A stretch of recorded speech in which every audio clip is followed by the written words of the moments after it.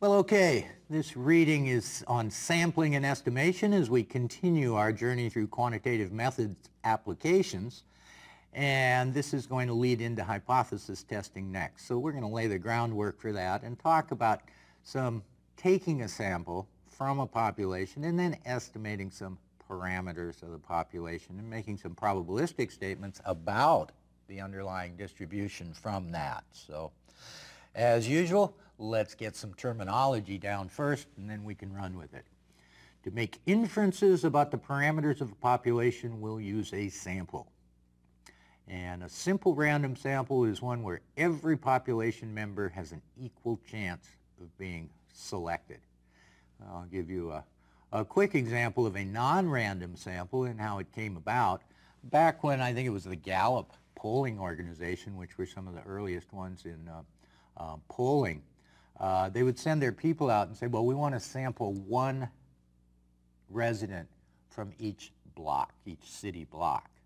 Well, if you have to hit one house on each block, what's the easiest way to do that? Well, they would go and they would go to the corners, right? And then they could hit four houses uh, from that location, one on each block, cover four blocks and then move down to the next two intersections down and, and do it again. And so this is the way they were doing it. Well, it turns out that people with corner lots uh, in the city, often those are larger, more expensive houses, sometimes with more frontage, they'd be paying more taxes and things like this. So they were getting very uh, a biased sample from each block by using just the corner houses. So they had to go where they actually would choose addresses at random out of the whole pool because they weren't getting a simple random sample. And we'll talk about other types of bias here as we move through sampling bias. A sampling distribution, this is an, an important point. We're going to have to use this. Uh, the sampling distribution gives us the distribution of the sample statistics for repeated samples of size n. Well, let me clarify that a little or expand on it a little and say, say we have got a, a, a we want to estimate the mean. Say we've got a large barrel full of ping pong balls, all with numbers written on them. And we want to use a sample to estimate what's the mean value of all the balls in the barrel? We can't count them all. We're not going to count them all. So this sampling distribution says, let, us say we decide our size n is 20. So we're going to take a sample of 20. To take those balls, we're going to add up all the numbers and divide by 20. That's our sample mean. Well, this sample mean is going to be different every time we take a new sample. And, or at least it can be. So if we do this 100 times and we plot out all the different sample means for these samples of size 20, that distribution is the sampling distribution. And we'll see under certain circumstances that sampling distribution actually has the same mean as the whole population. And we can make probabilistic statements about how confident we are that the true mean of the distribution is within some interval or another based on our sampling. So that's how we're getting to sampling and estimation. And the last term on this slide we need is sampling error. And that's just the difference between our sample mean, or some sample we estimate any parameter with, but certainly for a sample mean, how far is it from the true population mean? That's our sampling error. The difference between the sample mean and the true mean when our sampling is uh, um, to generate a sample mean. Now, as opposed to simple random sampling, we've got stratified random sampling. The idea of stratified random sampling is to preserve certain characteristics of the whole population in your sample. And the easiest way to understand this, and really the reason that it's introduced, is sometimes in, in uh, trying to match an index portfolio, especially bond indexes. Okay? They don't just match it. I mean, if you want to match the S&P 500 um, stock index, that's pretty easy. You buy all 500 stocks. They're all liquid. They trade readily, and you can match up the, the weights that you need, how much of each stock. So they can just match that portfolio. But with bond portfolios, it's much more difficult. You've got liquidity um, um, issues. You've, you've got costs of buying and selling that can distort things. And so often they'll use a sampling technique to get a portfolio that that attempts to match the performance of the overall bond index. So we haven't been introduced to a lot of these things yet, these characteristics that bonds might have. But let's talk about them and not worry too much about them, and we'll learn much more about them in fixed income. But say we've got this bond index, and some of the bonds are callable and some are not. Some are long maturity, some are short maturity. Some are quite risky, like junk bonds, and some are not risky. And we could talk about you know, four or five important um, characteristics of these components, these bonds in the bond index. So in order to do stratified random sampling, we're going to say, well, let's take a box here, and let's label that box callable, short-term, high credit quality um, corporate issuer. And all the bonds that fit all of those characteristics, we throw them in that box, bonds from the index. And we follow this, and now we've got these bonds divided up into all these subgroups, and each subgroup, they are very similar in what we consider the important risk characteristics. Then we do our random sampling from each box. So if there's 30 bonds in this box, and we say, well, we're going to take 10 of those as our sample, or 8, or whatever. So we take a sample from that subgroup, and then we buy those bonds in proportion to the size of the subgroup. So if the bonds in that box represent 12% of the index, we invest 12% of our portfolio in those bonds we selected randomly from that box, from that subgroup. And what does this do? This preserves the characteristics. So it says, well, you're going to select randomly, but we know 12% of our portfolio is going to be bonds with these characteristics. 8% is going to be bonds with these characteristics. So we've done the random sampling, but preserved the characteristics of the overall portfolio in terms of what we consider to be the important characteristics or risk factors that we're interested in. Time series versus cross-sectional data. Well, this is an easy learning outcome statement. Time series data goes across time. Monthly prices for IBM stock for five years is time series data. When we talk about cross-sectional, we talk about a certain period in time and look across industries or across companies or across different securities, things like this. Now, sometimes we'll use both. We'll have data that is both time series and cross-sectional, but many times we'll define a, um, um, a test or a study that we're doing as being based on time series data or based on a cross-sectional analysis across firms, industry, means, things like that. Okay, this one's important, central limit theorem. The central limit theorem is what's going to allow us to make some probabilistic statements and do hypothesis tests here uh, in the material we have left in uh, quantitative methods. And importantly, what this says, it says, okay, let's go back to our big barrel full of balls with numbers on them, ping pong balls with numbers carefully written on them, thousands and thousands of them. It's a big barrel. Okay. And the central limits theorem says well, no matter what the underlying distribution, no matter what that population is, as long as it has mean mu, a finite mean, and a known or finite variance, sigma squared, as the size of our random sample gets large, the distribution of sample means approaches a normal distribution. With mean mu, that is, our sampling distribution has the same mean as the underlying population, and its variance is sigma squared over n, n being the sample size. So a couple of things come out of this. One, even if we don't know the distribution of that underlying population, once we start taking sample means, they will be approximately normally distributed, and we can use that standard normal, the z-table, and all that to talk about probabilities of being above this or below this or within this interval using normality. And that's very important.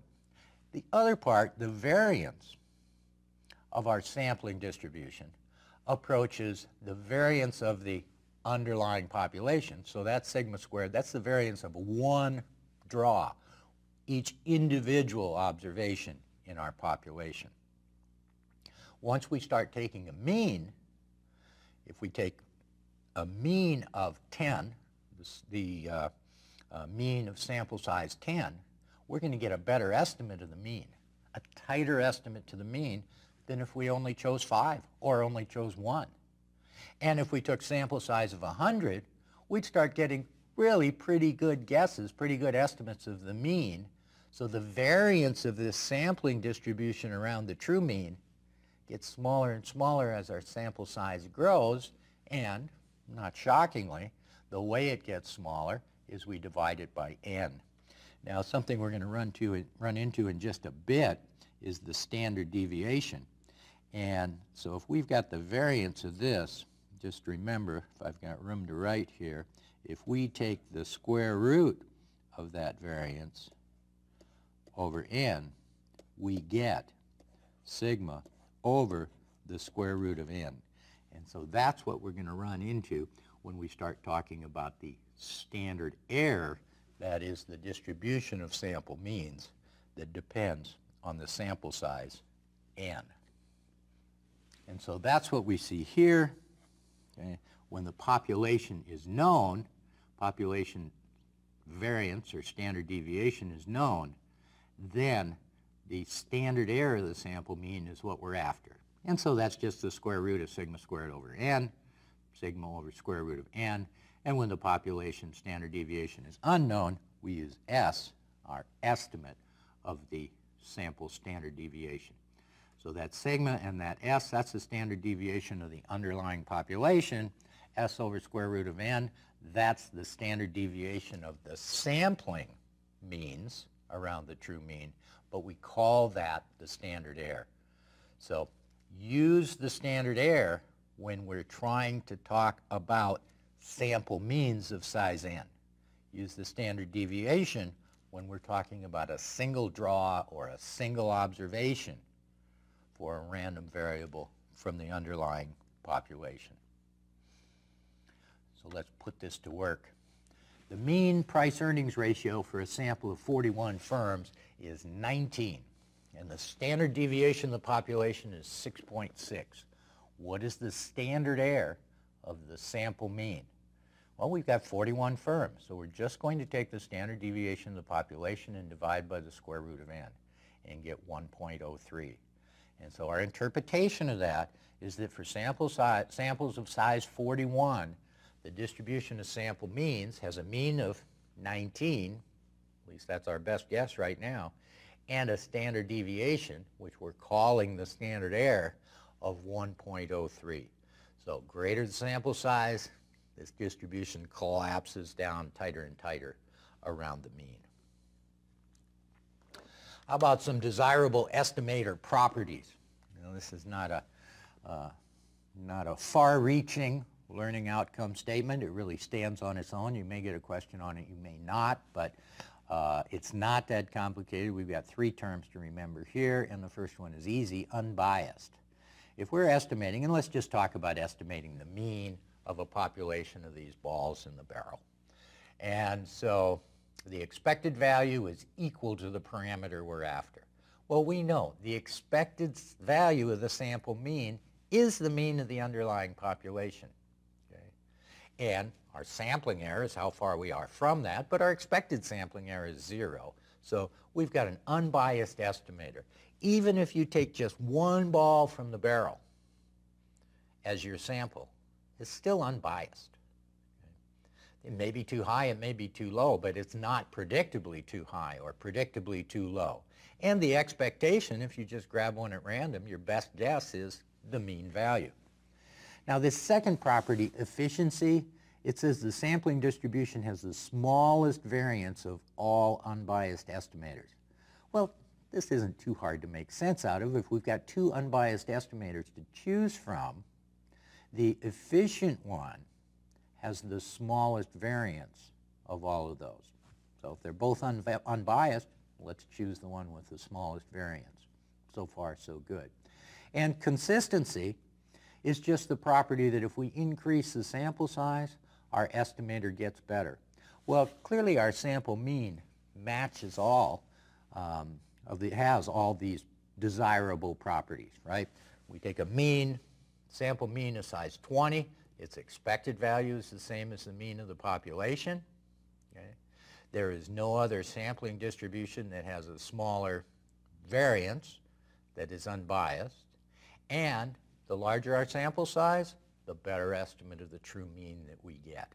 So maybe you can remember it in that context is what are the desirable properties of an estimator? Well, what properties are, are what properties does this sample mean have?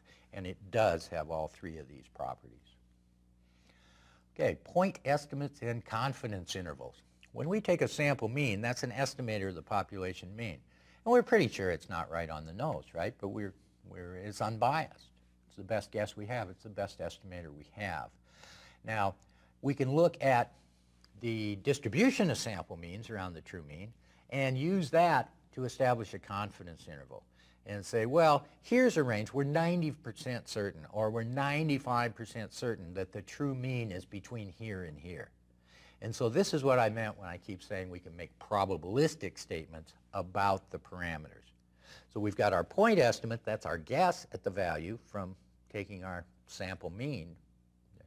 But given the standard error, the dispersion of these sample means around the true mean, we can use that to say, well, 95% of the time, given what we've seen here, the true mean is going to be between here and here. So that's our confidence interval.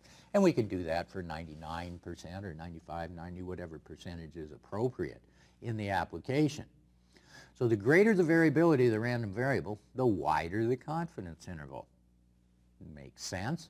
We had a sample, sample means from samples of size 5, uh, our 95% confidence interval based on that information is going to be wider than if we had sample size of 100 or more sure we've got a lower standard error and our confidence interval would be narrower. The larger the sample, the narrower the confidence interval.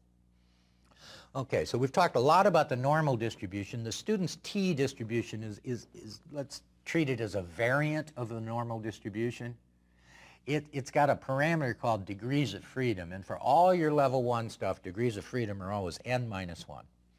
So that'll change a little at uh, level 2, but we certainly don't have to worry about that yet. So degrees of freedom, n minus 1. And uh, that's a, it's a mathematical, statistical concept, but think of it this way. If you've got n values, and I tell you n minus 1 of them, and the mean, you can figure out the other one. That's all that's going on here. So it says if you've got the mean, then you can only identify n minus 1 of the n values. The other one is determinate already because we know the mean. I don't know if you even need to know that, but it may help you remember it and make some sense out of it. So a student's t-distribution has fatter tails than a normal distribution. And as the degrees of freedom increase, I'm down here at the bottom now, as degrees of freedom increase, the t distribution approaches the normal distribution. So if degrees of freedom, 200, something like that, it gets almost, it gets indistinguishable from the normal distribution. Okay. But when we have lower values, we've got these fat tails, we're going to need what? We're going to need wider confidence intervals because if this distribution has fatter tails than the normal, if we want one 90% interval, it's not going to be 1.645 standard deviations either side because with fatter tails, we've got more probability on these extreme outcomes. So with a t-distribution, we just need a wider confidence interval for 90% than we would under normality. And again, uh, the greater the sample size n, the closer we are to the normal confidence interval, the confidence interval with a normal distribution of the underlying random variable. So here's a picture of that. Now don't be concerned with this center. There's some controversy over there. Remember when we saw a leptokurtic distribution, it was a little more peaked in the center. But for our purposes here, just focus on those fat tails. So we show an example of a t distribution with degrees of freedom equal to 1, and then one with degrees of freedom equal to 100, where we're getting pretty close to a normal distribution. And the reason we care about these fat tails in finance is often we use normality to make our probabilistic statements and confidence intervals and stuff, but if the distribution is non-normal and has fat tails, then we're underestimating the probability of extreme events, and we don't want to do that, especially on the downside. So that's why we care about these fat tails and the t distribution. Now, let's talk about constructing these confidence intervals. We've got a point estimate plus or minus what we'll call a reliability factor. That reliability factor, that's our 1.65, 1.96, depending on uh, the uh, uh, percentage confidence we want on this interval. So a normal distribution with mu equals 3, mean 3, standard deviation 2, a 90% confidence interval is simply 3 plus 1.65 times 1.65 standard deviations, which is 2 here, or 3 minus 1.65 standard deviations. And that gives us a range from 0.3 to 6.3. Of course, the center of that range is our point estimate, okay, um, and the range gives us our confidence interval. For a 95% confidence interval, you want to be more confident that the true mean is within your interval. You got to make it a little wider, and so that's why we use 1.96 standard deviations rather than 1.65. Simple as that. I'm sure you've gotten that point pretty clearly by now. So now we've got this chart here. It looks a little daunting, but I think when we take it apart, we'll be fine. Um, let's start off with the z statistic. We've got a z here. It says we can use the z here, and the reason is we know the variance and we know the variance. When we don't know the variance, and most times we probably don't, I mean, who's going to tell us? So we have to estimate it. If we estimate that variance or standard deviation, that adds another little bit of uncertainty to our confidence interval, doesn't it? Because we're saying, okay, 95% confidence interval, let's go 1.96 standard deviations either side of our point estimate of the mean. But what if we're unsure about that standard deviation? In order to be sure we've got a 95% probability of being in that interval, got to make it a little bit wider. And what does it do when we use the t-distribution? It's got fatter tails, depending on the degree of freedom, fatter tails than the normal. And we're going to have to use a little wider confidence interval. And that's accounting for the fact that we're guessing, that we're estimating the variance. But that said, if we have a large sample size, which we're just taking to be greater than 30, usually not a big problem. Some samples are smaller, but in many cases 30 is not, uh, not a hard sample to get at all. It says we should use the t-statistic when the variance is unknown and we've had to estimate it, but it tells us in the CFA curriculum that the z statistic is the theoretically acceptable here. Now, given computing power, I don't know why we'd want to use a z statistic instead of a t statistic, but remember we're preparing for the level 1 CFA exam, so we just need to know what they want us to know. And so now we've said all of these, along with this, that's all the z statistic. So now we're down to one instance where we must use a t-statistic.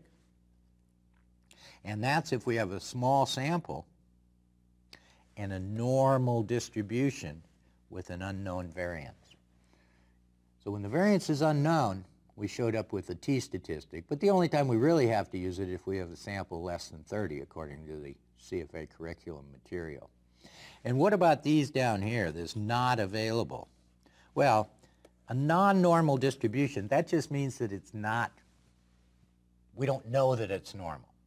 Okay? It doesn't have to be identified as that. If we just say oh, we're looking at a distribution and blah, blah, blah, you can take that as non-normal. If it's not identified as being normal, we don't know that it's normal for sure, it's non-normal. Well, if we don't know the distribution, if we don't know the um, um, probability distribution of the balls in the barrel, and we take a sample of less than 30 balls, it's not reliable at all, whether we know the variance or not.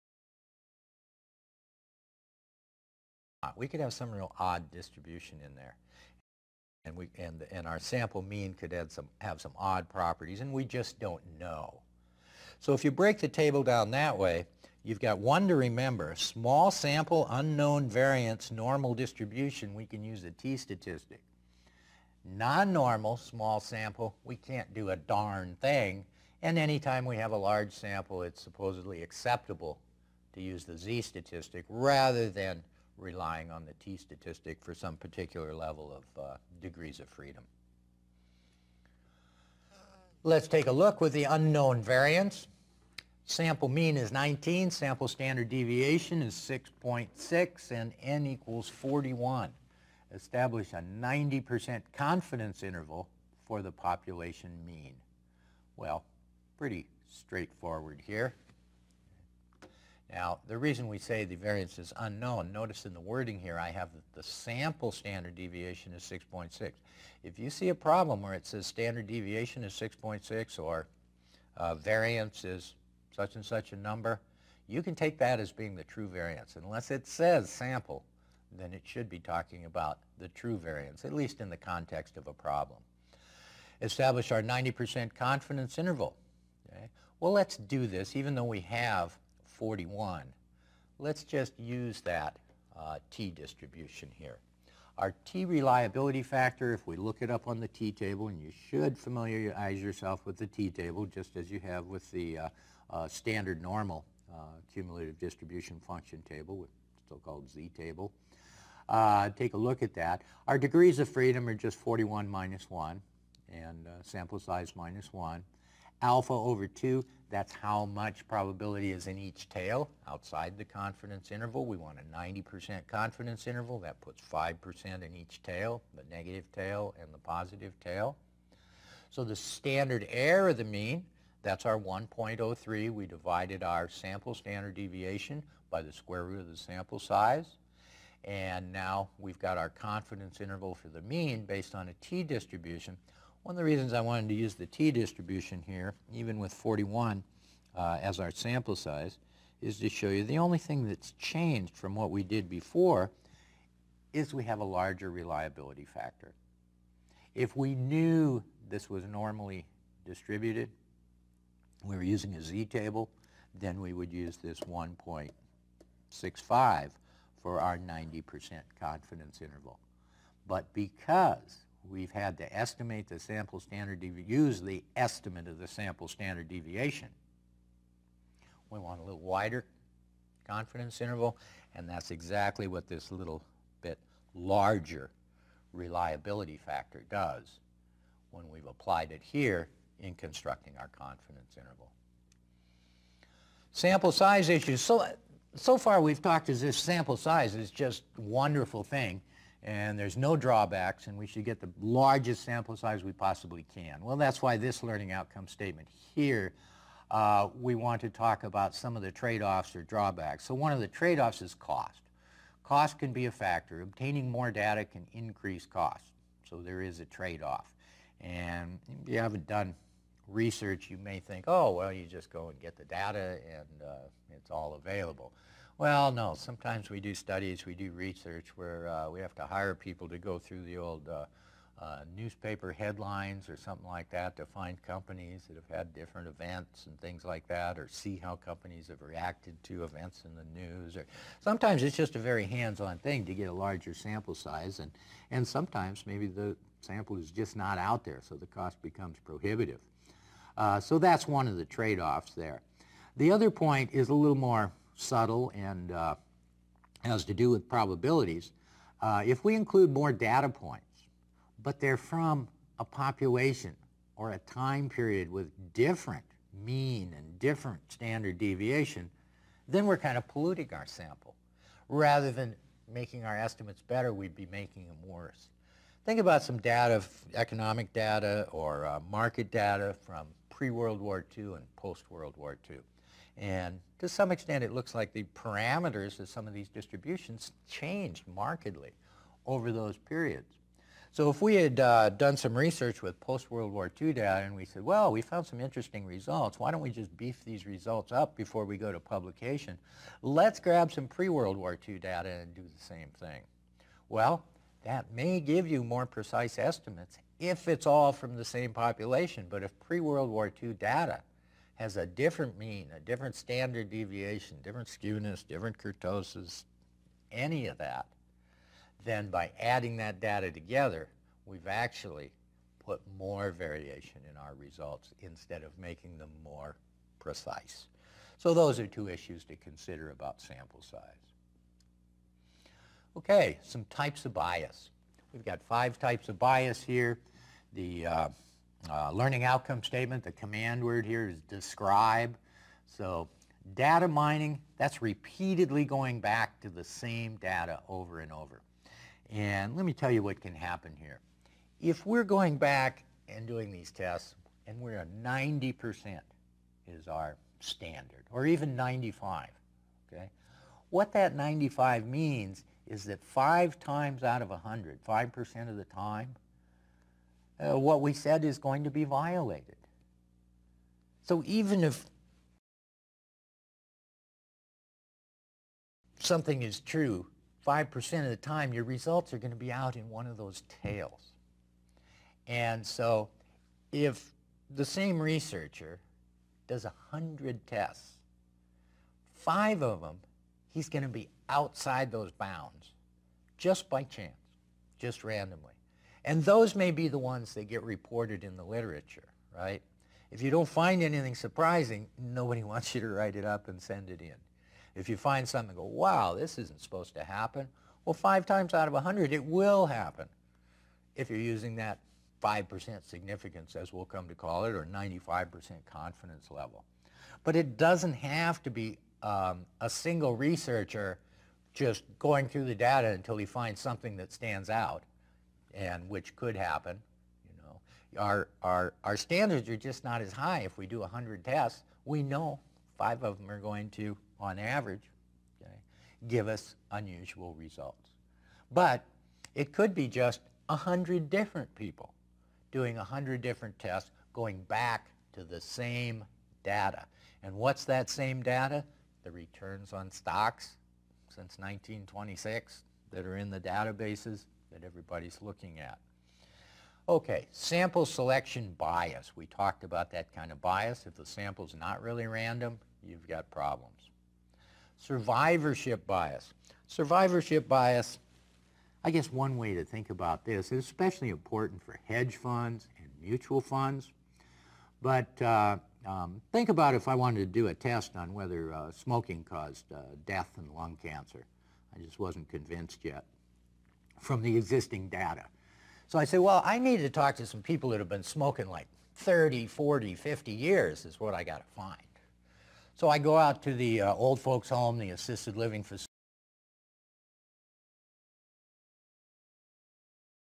whatever we're calling it these days, and uh, I say, hey, I need to uh, um, uh, talk to some smokers. And so these smokers, they wheel them in there with their oxygen and their uh, breathing apparatus and everything like this. And I get them all in a room and I say, oh, uh, how many people here have smoked for 40 years? And some of them raise their hands. And I go, okay, anybody ever died from it? Nope, not me. Anybody here got lung cancer? Ah, no, Jim did, but he left last week, you know. So uh, there you go. You say, nope, 40 years of smoking, no problems. Well, clearly the problem is, is that I've only talked to survivors.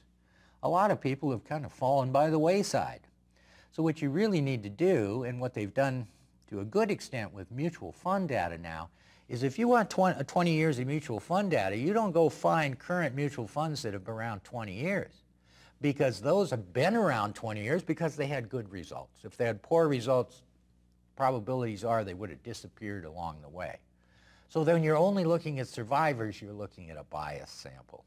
And this is true with hedge funds too. Hedge funds have a very short average life.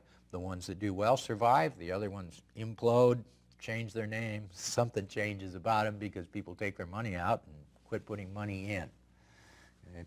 So what you want to do is you want to go back 20 years ago. If you decided 20 years is the sample you need, you go back 20 years ago and say, okay, what were the existing mutual funds at that time? And then follow them through time for 20 years so that you don't have this survivorship bias. Look ahead bias is if you're constructing a test, say some samples, say a portfolio selection criteria, and uh, you're using that to form portfolios and see if you can beat the market. Well, one example of this is sometimes they'll, they'll form the port portfolios on January 1 and see how they perform over the, over the year. And maybe they'll form them based on their book to market ratios, the ratio of the book value per share to the market value per share at the beginning of the year. Well, this is fine. You're using year-end book values, but the fact is year-end financials don't come out till March or April, in various dates, but predominantly March or April. And so it's at that time that the financials are done, the accounting is out, and you actually know the book value.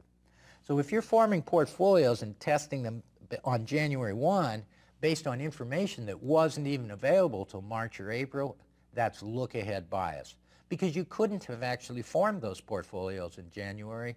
The data wasn't available.